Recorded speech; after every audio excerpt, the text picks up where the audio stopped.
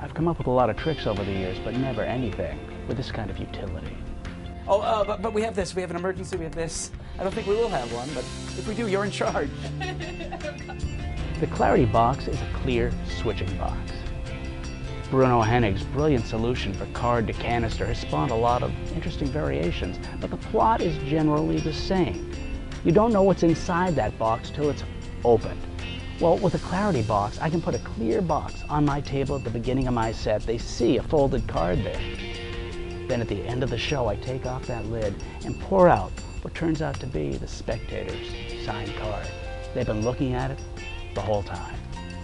Oh, we have something just for emergencies. How can this be something for emergencies? How could this be impossible? You've been staring at it the entire. I think there's only one way this can be impossible.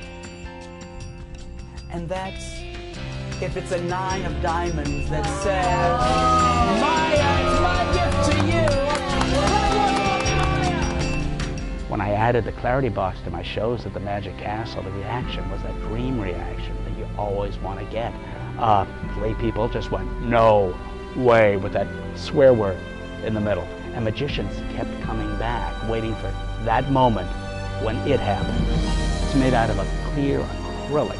And it doesn't have to be a card in there, it could be anything. It could be a bill in there for a signed bill routine. Or it could be a folded file card with a prediction on it if you're a mentalist. I've loved magic really as long as I can remember, and I've always been driven to contribute to this thing that I love.